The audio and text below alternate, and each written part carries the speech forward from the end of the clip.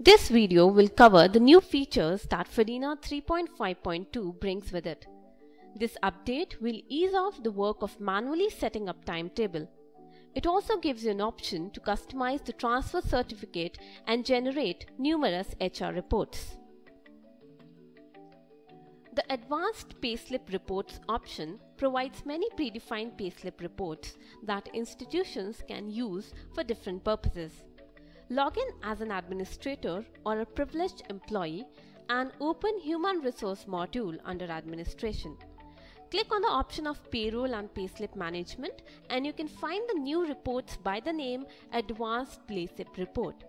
There are seven predefined reports which will show up. Let's check the payslip report. You can get the report for the selected pay period. Select the duration for which you want to get this report and click on View Report button. You will get the report which can then be filtered by options like department, payroll group, etc. You can also add or remove the columns that you see in the report by clicking on Customize Columns link. You can select deselect the details which you want to see in the report. For example, under columns heading, I have selected show total options for earnings, deductions and net pay. After you save these settings, the same will be reflected in the report. You can download the report that you filtered and customized. If you want to get this customized report frequently, you can save these settings as a template. Enter the template name and you may change the settings if needed and then save the template. This template will show up under the custom reports option in advanced payslip report link. You may edit or delete this template as per your requirement. Like this, you may set multiple templates and use them as and when required. Visit your Fedena instance URL and log in as an administrator or a privileged employee. To get started, go to the dashboard and click menu on the top left. Visit Human Resource, Settings, Payroll Settings. Now you can choose between two modes of employee payroll calculation. Gross base payroll mode is the existing mode of salary calculation. If your institution has a single value like gross salary and other payroll categories depend on it directly or indirectly, use this method. Observe in this example that the basic is dependent on gross and the other components are dependent on basic or have a fixed value. Save the settings after selecting this and now when you assign a payroll group to an employee during admission or later, you can check that it asks you to put the gross salary and other data gets populated based on dependencies. Payslip generation process remains same thereafter. Let us see the other mode which is the new mode for salary calculation. It is useful for institutions where the payroll of an employee is directly or indirectly dependent on a couple of payroll categories. Observe in this example that the institution does not have a single value like gross salary on which all other payroll categories depend, instead has one or two like basic salary based on which all other categories are calculated.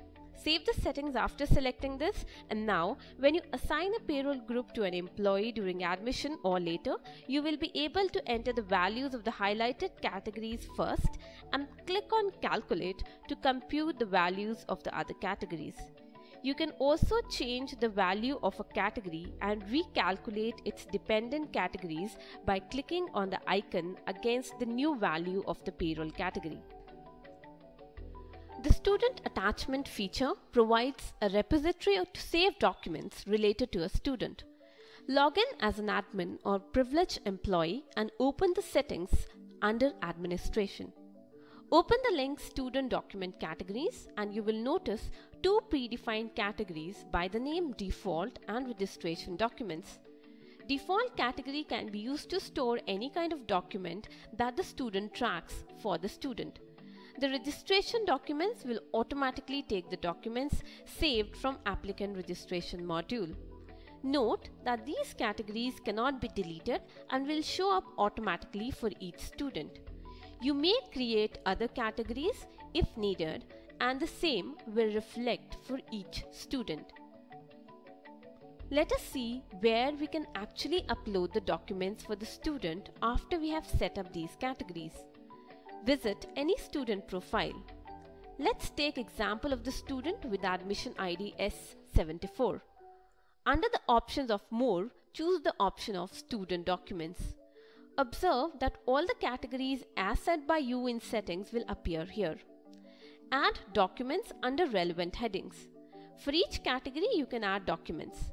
Click on the Add Document option in front of the category you want to add documents in. Browse for the document and choose the file that you want to upload. For each file you upload, the size limit is restricted to 5 MB. Click on Upload Document button once selected. Edit option in front of the uploaded document will allow you to update the category of the document or rename it. You may also delete the document if it is required. This way you can upload multiple documents by visiting the profile of students. If the students log in, he can check the same documents and download them. Though he will not be able to upload or edit or delete these documents. In the continuous and comprehensive evaluation grading system, there are three new features that you can find. There is a new mode to select how co-scholastic remarks appear in the report card. There is a new detailed FA report which shows the marks for each descriptive indicator of the selected FA. And there is a new student-wise FA report which gives report cards for each selected FA. Let us see each of them in detail. Log in as an administrator or a privileged employee and open CCE settings. Click on the Co-Scholastic settings link and you can see the new option of Co-Scholastic remark setting. This is where you can choose between custom remarks for each student or auto-populate remarks from descriptive indicators. If you choose the option of auto-populate remarks from descriptive indicators, the remarks are auto-populated from the list of descriptive indicators in the observation. The indicators are sorted based on the marks from the highest to lowest. If you choose other option of choose from remark set, the remarks that are entered in descriptive indicators page will show as a drop-down. This setting is reflected while you are entering marks for co-scholastic result. To see the detailed FA report, log in as an administrator or a privileged employee and open CCE reports. Click on the detailed FA report link. Let us select a sample course and the batch. The subject and FA group can be selected. Click View and the detailed report for the selected subject will show up. The same can be filtered by selecting the student category or gender. You can also take out a CSV report for the same. Now let us see the FA group report in student-wise report. Log in as an admin or a privileged employee and open CCE reports. Click on the student-wise report link which is an existing link. Let us select a sample batch and the term. You can now filter on the basis of FA group on selecting FA group, the report shows the formative assessment details of all the subjects for the selected student. You can change the student from the list on the left. The report also gives you a graphical view of each subject for the student. This report can be taken out as a PDF report. The student or the guardian can also see the same report in their login.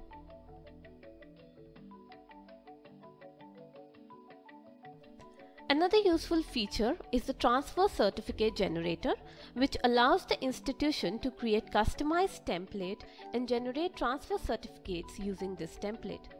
Let's take an example and understand how this works. Log in as an administrator or a privileged employee and open the module of transfer certificate under academics. To set a standard template, click on certificate template settings. You can preview the default transfer certificate by clicking on Preview Certificate on top right. You can customize the default template by editing the header, student details and signature or clauses. To edit the header, click on Edit button under Header if you do not want to generate the header and have your own header which can be used, the other option which is do not generate header, leave blank space can be selected. In this case, enter the length of the space your sheet's header is taking.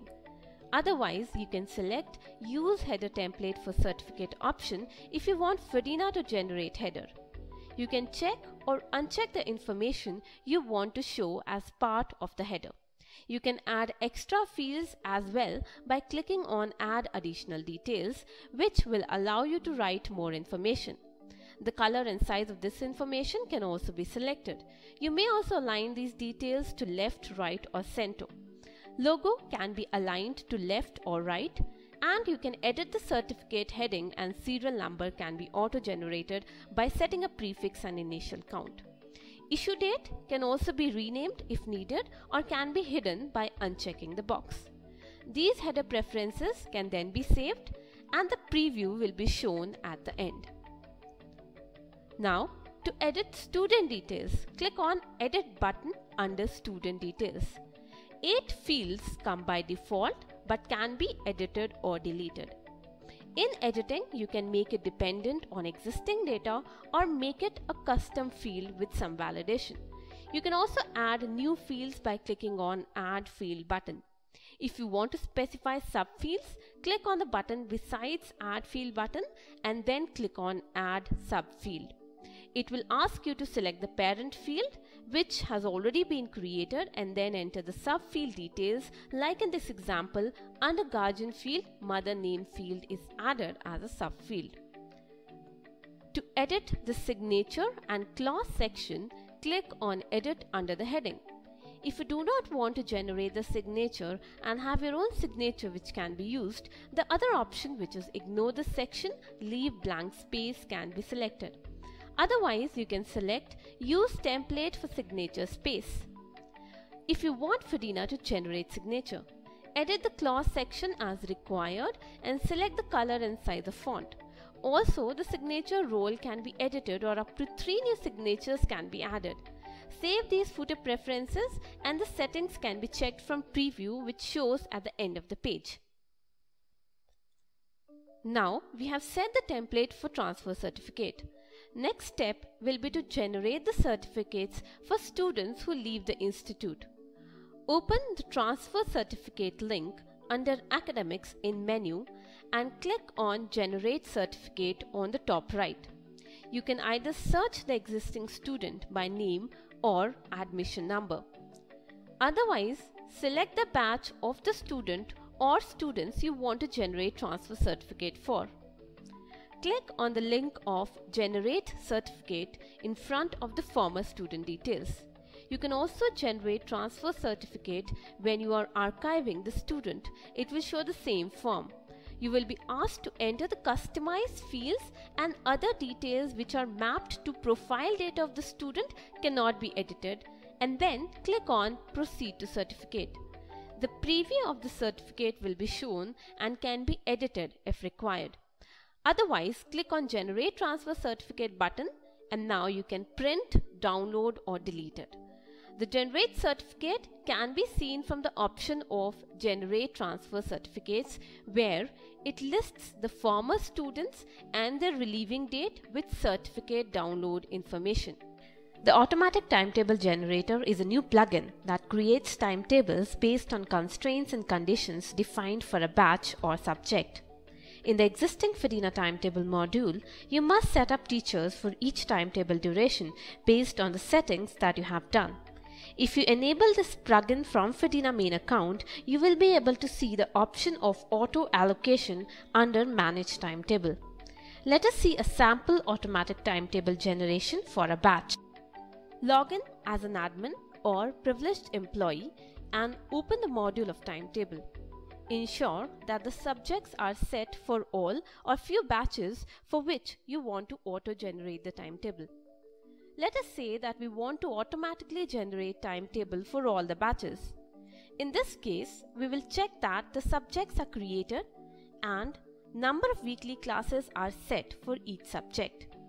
New option of settings can be opened and for each subject, time preference when that subject should be appearing in the timetable that is after or before or within a duration can be set. You may also set consecutive classes which means if you want that the subject to appear more than once together for the week.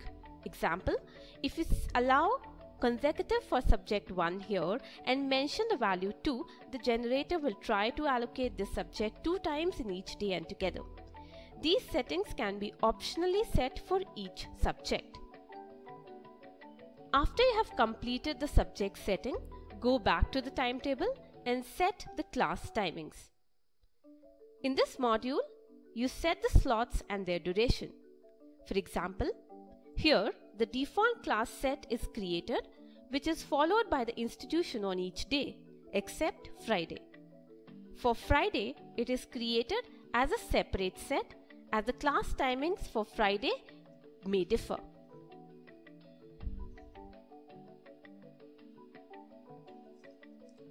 Once the class timings are set as required, check the start day of the week from the general settings before you set weekdays for the batch. Then, for each batch, select the working days and change the class timing set for the days when it is not default. Before you start setting timetable, ensure that the subjects are set for each batch and the employees are assigned to each subject. Also, you can set timetable in two ways in Fedena now. First way is manually, which is the existing way, that is, allocating each subject to each slot with teacher. And the second way, which is the new way, is by auto generation. First way is the existing way of setting timetable in Fedena. If you want to generate timetable automatically, you must follow some regulations. First step is to follow all above mentioned steps. Each subject should have only one employee assigned and other employees can be added later on by editing the timetable. You can visit the Manage Subject page once again to ensure that the number of weekly classes should be equal to the sum of all subjects' weekly classes as set by you.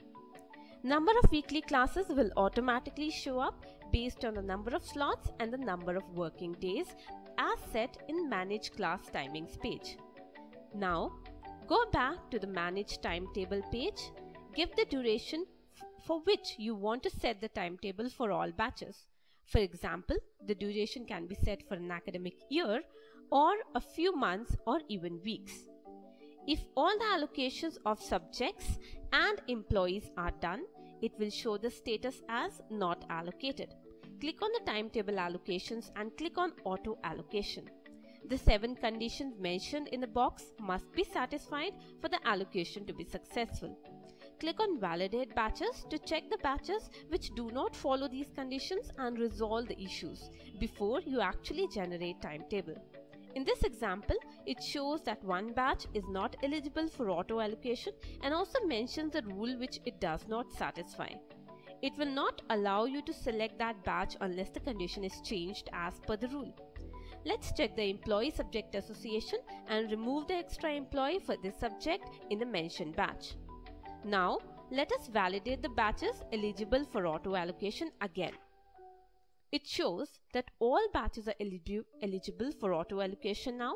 Select one or more batches and click on auto allocate timetable. It will show the message of initiation of allocation and will also show the allocation status after a while. Now you may check the allocations by viewing the timetable and make changes, edits if needed.